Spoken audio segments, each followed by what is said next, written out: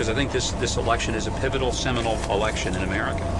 And the contrast is going to be stark and uh, significant. This isn't a matter of degrees. Uh, there will be a, a very different direction America will take depending on who the next president is. So as a result of that, it's going to matter a lot to us. You know, for me, the fortunate thing is I don't have to go around and uh, unsay anything I said during the campaign. That's right. we had a very civil relationship, and I thought it was significant that I felt like the the two of us that ran, frankly, the most civil campaigns in the entire Republican primary ended up the last 200 feet. And I, I hope that that is a sign of things to come in terms of the type of campaign. And Senator McCain is clearly running that type of campaign uh, throughout the process, as evidenced by his actions and, and uh, comments this week.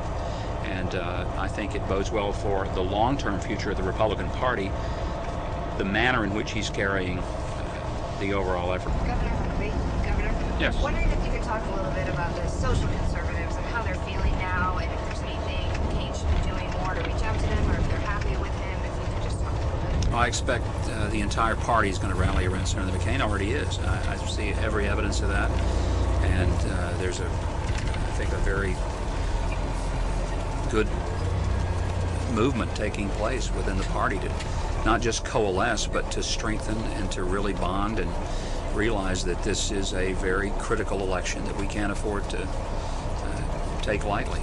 There's going to be a lot of energy for whoever the Democrat is. They've been out of the White House for eight years. They're hungry. They want it back. And it's not about, though, uh, just which party gets to uh, taste the spoils of the war. It's, it's where they're going to lead the country. And that's why I think Senator McCain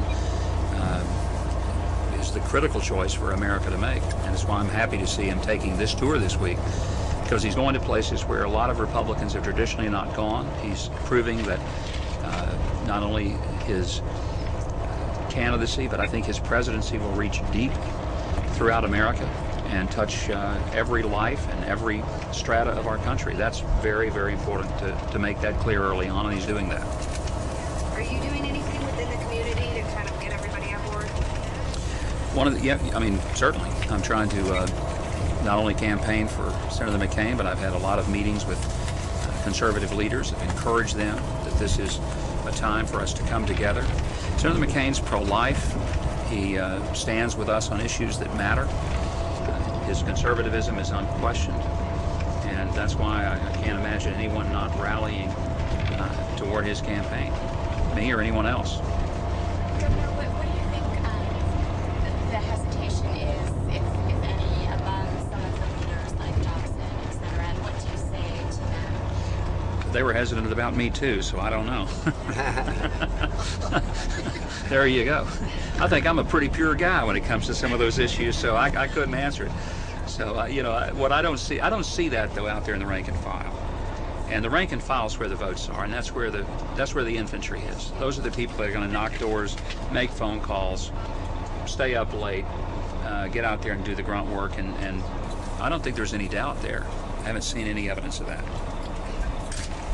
What are the rank and file most worried about in this election? Hillary or Obama?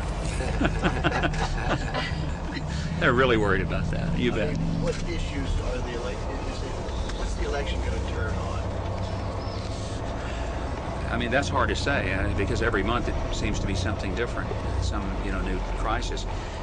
But I think it's going to turn on the uh, idea that you want to elect someone who's got not only experience and seasoned judgment, but who has core convictions, and that's where.